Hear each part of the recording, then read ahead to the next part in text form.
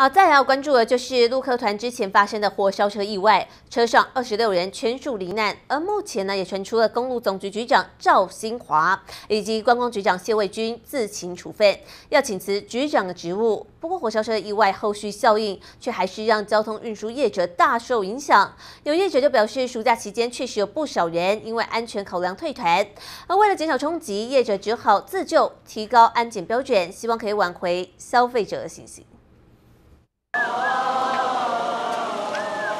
陆客团火烧车意外造成二十六人死亡，交通部已经证实，公路总局局长赵新华和观光局长谢卫军已经自行处分，很可能为此下台。现在就等政院批准，但交通部想整军止血，后续效应却早已让业者吃不消。这个事件对业者来讲的话是有一些影响的。我有接到就是一些朋友啊，他们在就是暑假这一段期间。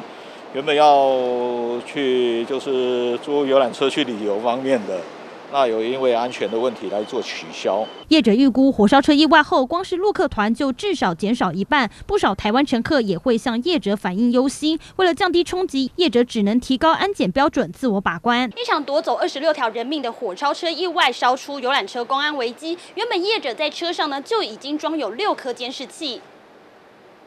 但在火烧车意外之后呢，可以看到在驾驶座的两旁又另外再加装了两颗的监视器，要来随时监控司机的状况。在检查项目里面有没有，并没有刻意的增加，可是，在检查的频率跟周期上，那各家业者是都已经增加了频率跟实际上稽核的部分，哦，来做一个比较绵密仔细的。